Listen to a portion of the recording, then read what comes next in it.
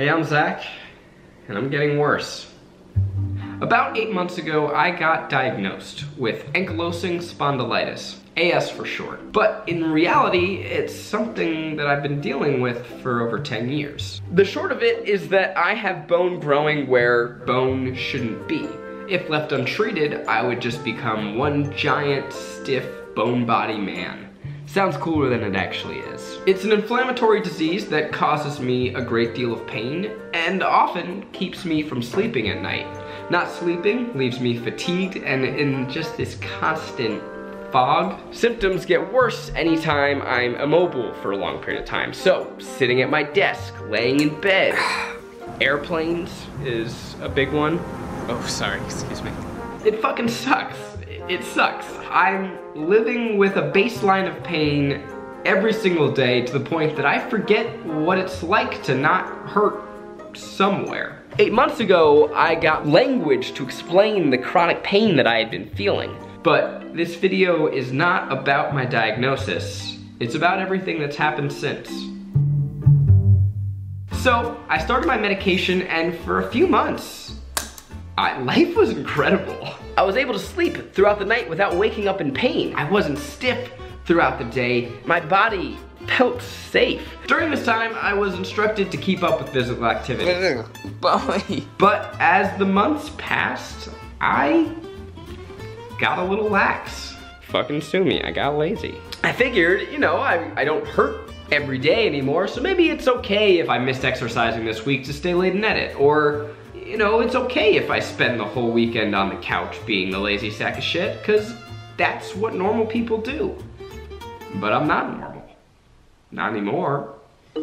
Like with any invisible illness, I look okay. At least I think. I think think I look okay. But it's a bizarre experience because it's it's just that. It's invisible. You feel like you're deteriorating on the inside, but you have nothing on the outside to prove it. So no one can see you getting sicker. You can't see yourself getting sicker. I started waking up again in the middle of the night, at first confused, and then as the weeks went by, a nagging discomfort, then a pain. I was distracted, I, I was upset, I was back to where I was eight months ago. I was in pain all the time, but still, with all that evidence screaming in my face, I was back to the same old bullshit of not accepting my own reality. Why? Why? Why? The truth is, the truth is, I started ignoring my disease the second I could. The moment that my medicine started working, I stopped paying attention to it. I, I stopped researching it. I didn't want to know more about my AS because the more that I would learn, the more I would have to accept that this is now a part of me. This is now a part of me. And that was a huge fucking mistake. How you doing, Zach? Not good. Yeah. Um, yesterday I had the worst flare up I've ever had in my life. My neck felt swollen. I had a horrible headache. My body hurt. Um, today, even worse. So I'm laying on Cassie Moby's peas, Keith's Eggo waffles, and real ice. And my little setup right here. And uh, Do you feel like it's worse than yesterday? yeah, it's worse than yesterday.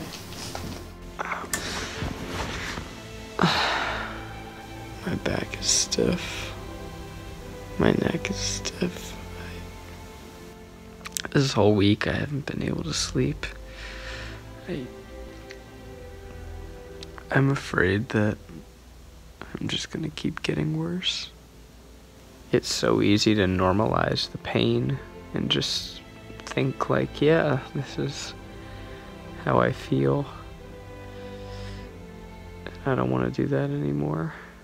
So it was time to go back to the doctor, finally ready to accept and confront my symptoms and ready to attack this sickness head on. And he said I was fine.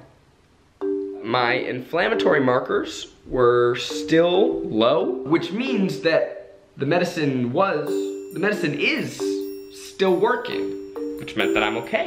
And so I had to go home uh, wondering if it was just all in my head. But then I thought about you.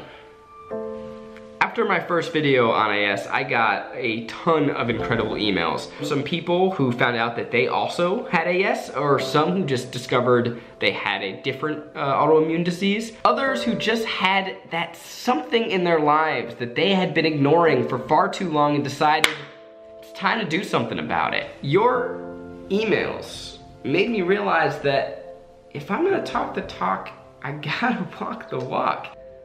And so, I decided to make my health a full-time job. Physical therapy twice a week.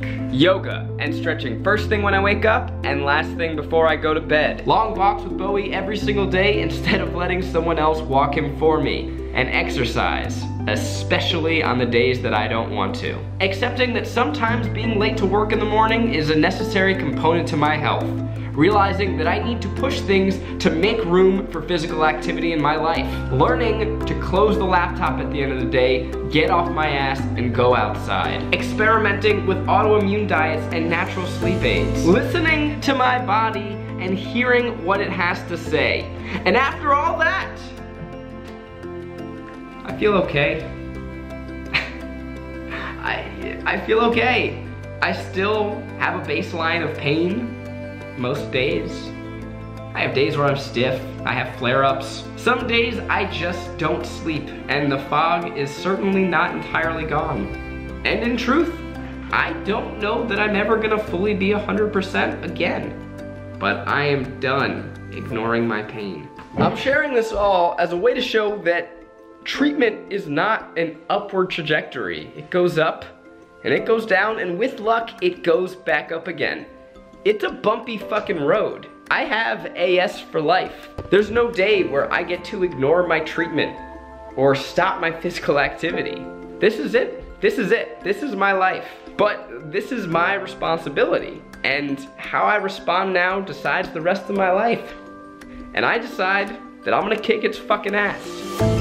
That I'm going to continue to prioritize myself and my health, that it is not gonna stop me from doing the things that I love to do, and it sure as hell is not gonna define me. Because also, it's a stupid sounding disease. It's ankylosing spondylitis is a dumb name. I'm not trying to demean it, but like, I've got a lot of life to live, and ain't nothing gonna hold me back.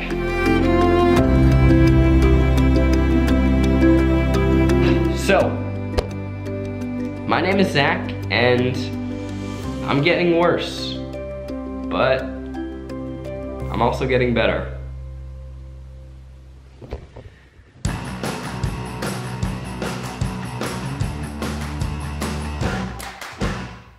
Eugene, can you open this for me, please? This does not affect your fingers. You're just making me, you're just making me do this because you like Can you feed me? seeing. Is the seaweed helping? Mm-hmm.